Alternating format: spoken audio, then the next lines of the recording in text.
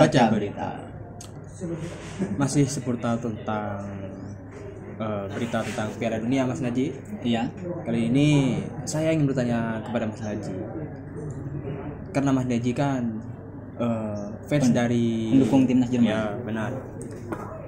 Lalu saya ingin menanyakan pose yang begitu lebay ini, Mas, yang tutup mulut. Itu maksudnya apa?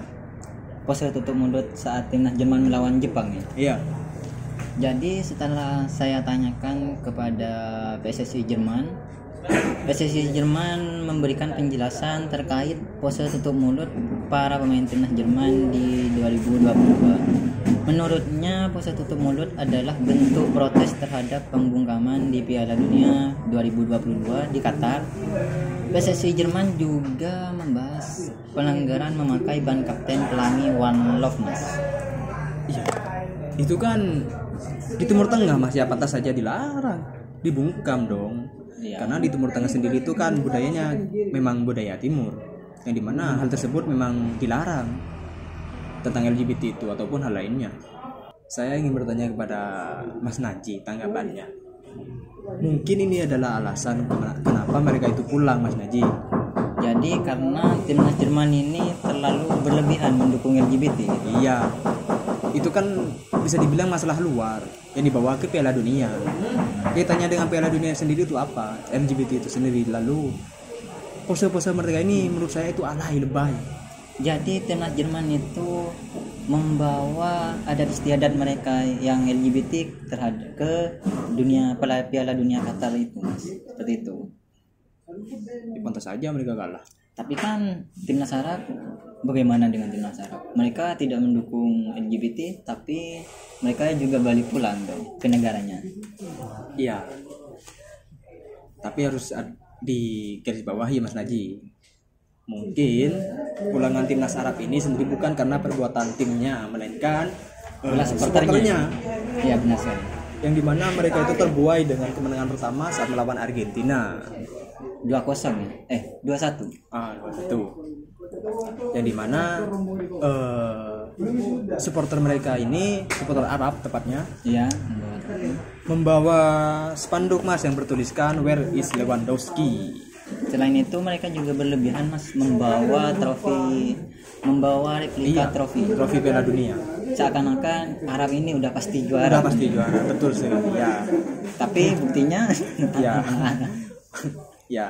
Mohon maaf mas, mungkin itu karma sendiri bagi supporter Arab karena membawa spanduk bertuliskan mana Le- Lewandowski, where is Lewandowski seperti itu. Ya sebenarnya saya sedikit kecewa karena timnas eh pendukung timnas Arab ini sangat berlebih-lebihan mas dalam saya minum air zam-zam dulu ya mas ya ini sebenarnya betul. ini souvenir dari mendukung timnas Arab Mas. Ya alhamdulillah alhamdulillah.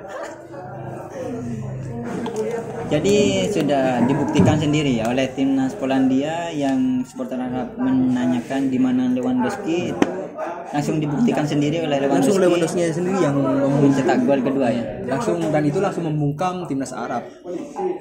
Sehingga mereka itu ya kalah. Jadi kita harus ber berkaca mungkin bisa berkaca. ke Messi atau Mbappe ya. Dapat ditarik kesimpulan mungkin Mas Naji dari eh, dua timnas ini yang mana eh, kita dalam melakukan sesuatu entah itu kita menang ataupun kalah kita tidak sepantas kita tidak sepantasnya Berlebih-lebihan. hmm, ya melakukan Di negara. Timur Tengah. iya apalagi di Timur Tengah seperti itu seperti kata Mas Naji tadi kita mungkin bisa berkaca terhadap Argentina dan juga Messi yang di mana Messi, pada Messi dan Mbappe ya tentu. Ah. yang di mana pada awal pertandingan mereka itu kalah tapi akhirnya bisa menuju eh, Final. ya final final Final tentunya. Dan ini menurut saya ya final terakhir dan Piala Dunia terakhir bagi, bagi Messi sendiri. Messi ya. Lionel Messi mengatakan saya merasa sangat baik secara fisik. Sepertinya saya berada dalam momen yang hebat baik secara pribadi maupun fisik dan saya tidak memiliki masalah apa pun. Itu kata Messi. Sangat optimis untuk menjadi juara Piala Dunia saat ini. Memang dari awal ini Messi eh, saya lihat eh, terkesan tidak keluar-keluar Mas Adi dalam eh, pertandingan-pertandingan melawan-melawan timnas-timnas negara lain ya. Tidak seperti timnas Jerman yang mendukung LGBT dan supporter Arab yang menanyakan mana Lewandowski. Where is Lewandowski? Ya, seperti itu Mas Haji. Kita tunggu saja di final. Final berikutnya tentang eh, pertandingan Argentina melawan Prancis. Kita nantikan saja eh, pertandingan ya pertandingan final antara Prancis dan juga Argentina Argentina. tentunya. Siapakah Siapakah yang akan jadi juara pada laga kali ini? Mas Rehan menjagokan siapa? Argentina. Saya dong, Mbappe pastinya.